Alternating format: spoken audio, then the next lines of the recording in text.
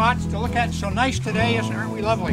Yeah. First thing you need to observe is that the trees southerly of you grow two feet per year.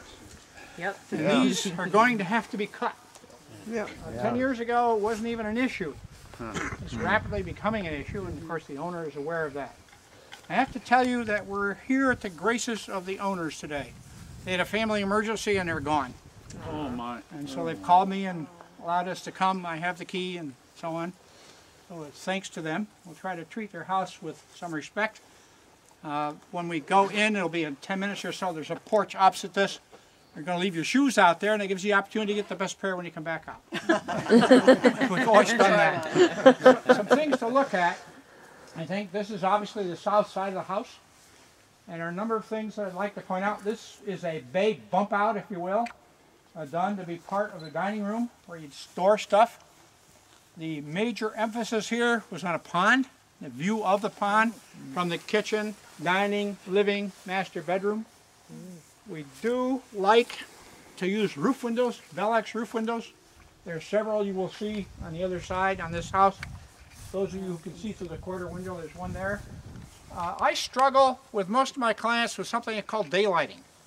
You come to me with a house design showing me that, and I think about how do we get sunshine inside, especially into the more northern mm-hmm. rooms if possible. One of the very best ways is a south-facing Velux window, and you're going to see that today inside. All in all, I don't know that we'll put the lights on.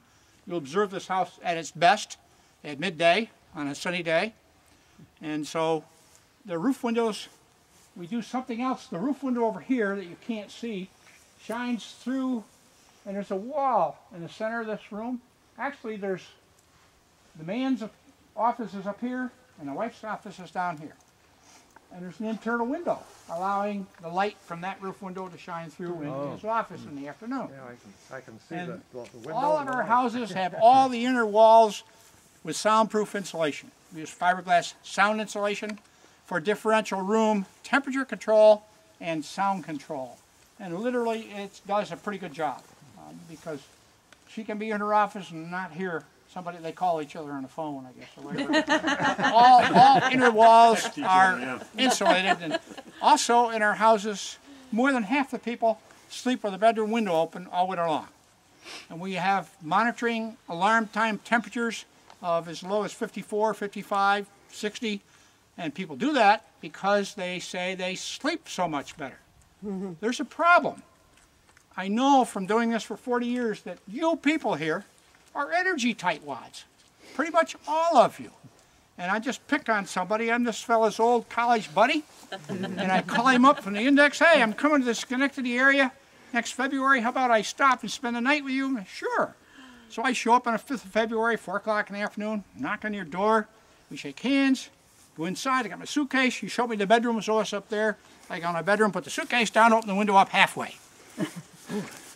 Hair stands up in the head. You got this fresh air feed up there. It's going to cost five or six bucks if I leave your window open all night long. It really troubles you because you got setback thermostats and you've added insulation and done all these things to reduce your energy bill. That's the way everybody thinks. That's not the way you need to think in this house because it will cost you roughly 30 cents. And it doesn't matter. It really does matter in his house. And so, how do I get you from this mind frame that you pretty much all have to think about the way you need to think in these houses? And I know it takes my homeowners two years to go from being an energy tightwad to not worrying about it anymore. They just can't. It takes a long time. Another thing I think I should point out, and this isn't a way of education a way to think, if I ask you about human comfort, a simple word or describe comfort to me, universally I get back temperature. That's the way you think. I want to be 72. Somebody only needs to be 65. That's the guy that never wears a jacket in the wintertime. That's not the answer. And I'm going to lose some of you here.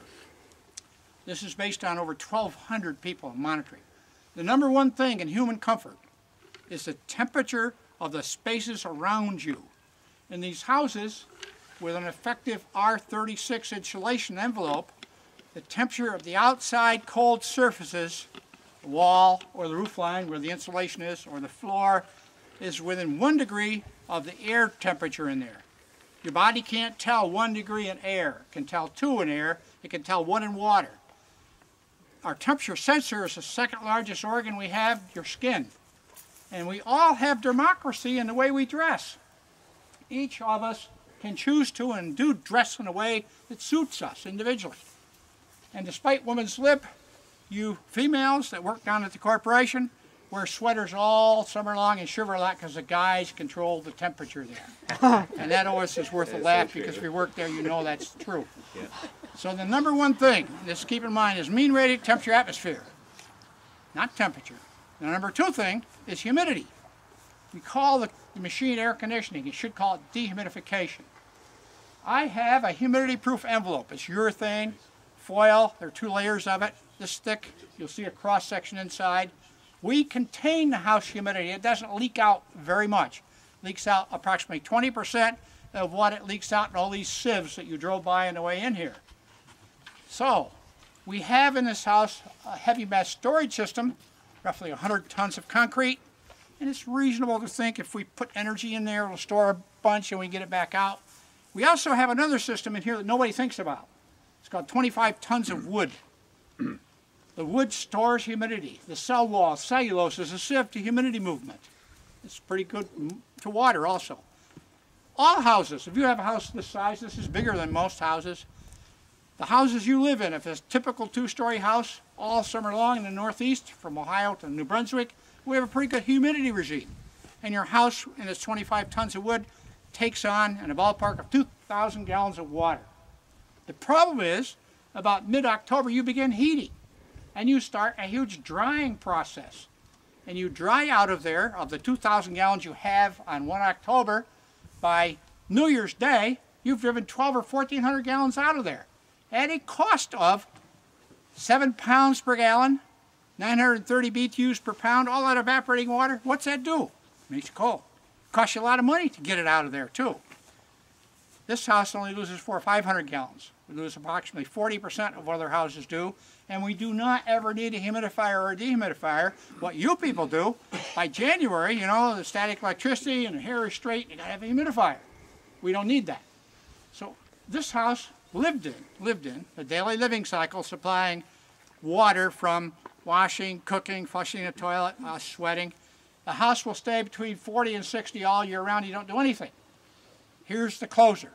At a humidity level between 40 and 60, you can't tell the temperature between 70 and 80 degrees. And you can't either. And none of you can. You think you can. The problem is not what is the temperature. The issue is, are you, are, are you not comfortable? And we keep you comfortable. I control the air ocean you live in. Most of the time, the house will be between 70 and 80 and do anything. And so that's key to really understanding this house. One other part of this comfort thing, and this is called history or whatever, it took me 15 or 20 years to really understand this. On a, on a grubby winter's day, not today, on a day when it's cloudy, uh, no, not very good. It's not so dark that your car headlights are on at 3 in the afternoon or it's snowing, but grubby winter day. Despite that, the house is receiving roughly 100 BTUs per square foot, 150 going in. Magically at 4 or 5 o'clock, it turns off. Now we have 150 going back out. The occupant of the house, between 4 and 5 o'clock, senses that. The person who was not there, who was away during the day, looks forward to getting home. This is the most comfortable place you will ever occupy. Arrives home, ah, haven't had that history. History is an important part of human comfort also. So that's, that's a little short lesson, I guess, in, in this way to think about it. Okay, so